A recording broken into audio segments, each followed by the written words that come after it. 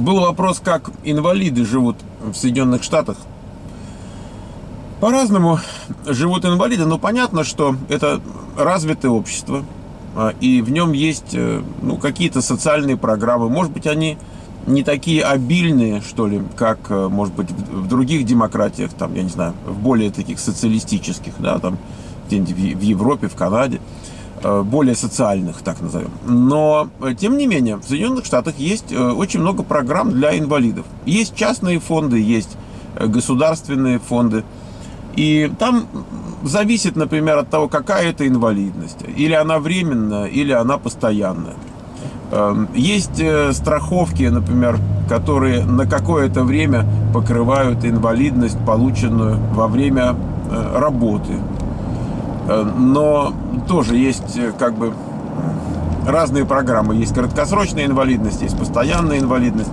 Эм, есть, когда страховка тебя поддерживает, там довольно жирно поддерживают. Если эм, ты пару лет побыл на этом, тебя переводят там на какую-то другую инвалидность, и тогда ты попадаешь уже э, на программы штата, или там, может быть, еще какие-то есть. Э, и там определение само инвалидности э, в трудовом смысле, оно очень жесткое. То есть, ну, я не хочу сказать, что должен пластом обязательно лежать, но э, инвалидом считается человек, который там не может э, делать даже такую работу, как там типа марочку клеить там или еще что-то.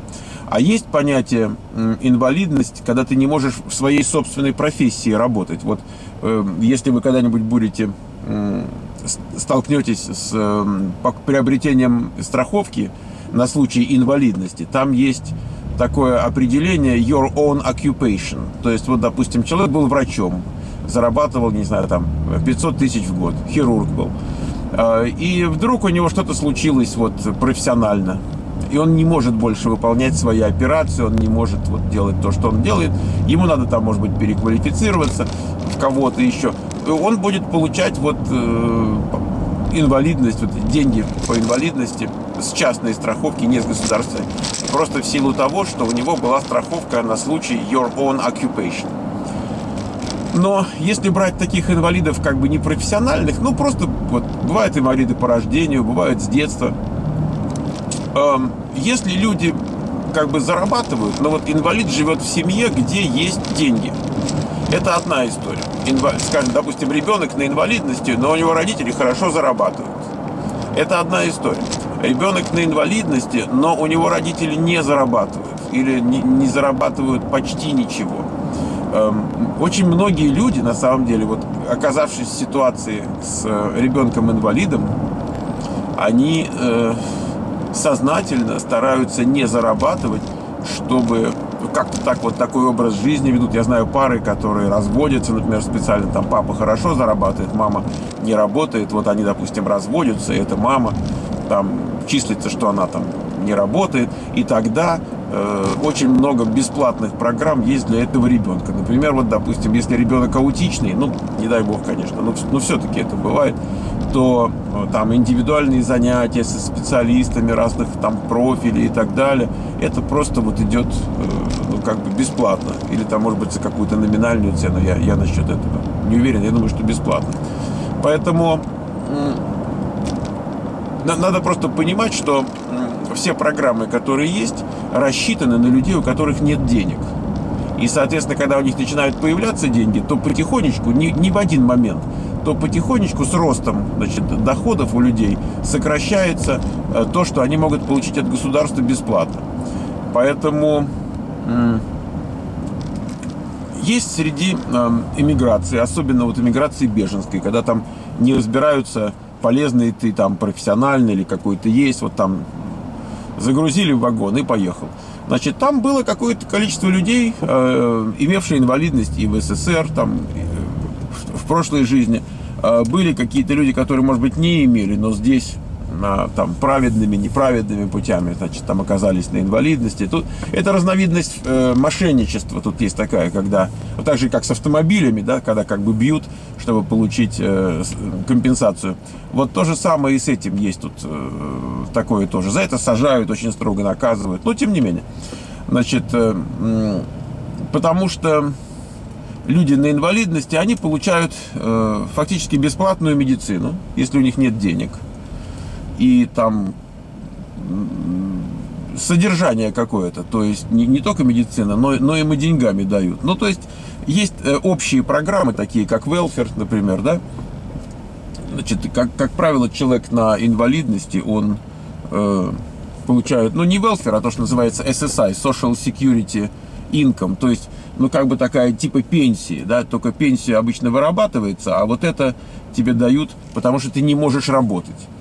Вот это вот Social Security Income или э, SSI, вот эти программы, в частности, вот инвалиды получают эти деньги. Это не безумно какие большие деньги. Но, тем не менее, к ним положена, значит, там, медицина, есть программа Medicare, вот у нас в Калифорнии, или по стране называется Medicaid. есть программа Medicare, это для людей, которым 65 лет, и инвалидам. То есть инвалиды тоже получают Medicare. А то, что Medicare не покрывает, покрывает Медикал, который у них есть. То есть, э, в общем и в целом, их медицинские потребности покрыты Э, дай, бог, чтобы все работающие имели вот такое покрытие. И дай бог, чтобы все американские пенсионеры, которые отработали, имели в старости такое медицинское покрытие. Они его не имеют, они имеют просто Medicare. А, значит, и доплачивают, докупают то, что э, инвалидам покрывает Medi-Cal, Medicaid, вот, вот это вот. А, ну, ну, вот так живут инвалиды. Я не знаю, ничего хорошего нет в том, чтобы быть инвалидом. Но, с другой стороны, если это случилось, то, с одной стороны, в обществе к инвалидам относятся с очень большим сочувствием, пониманием, и как бы общество настроено на то, чтобы создать инвалидам возможности для полноценной нормальной жизни.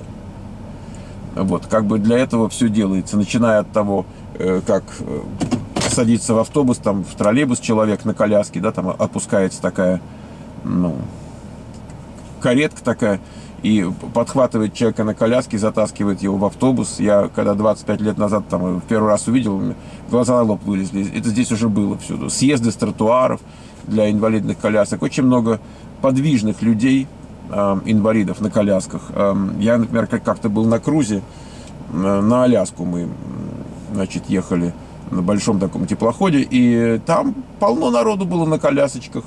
Э, пожилых людей, вот они там как-то путешествуют.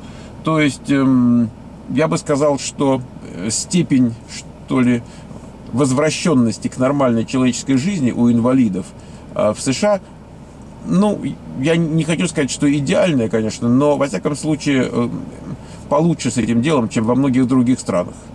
Я, я бы так сказал.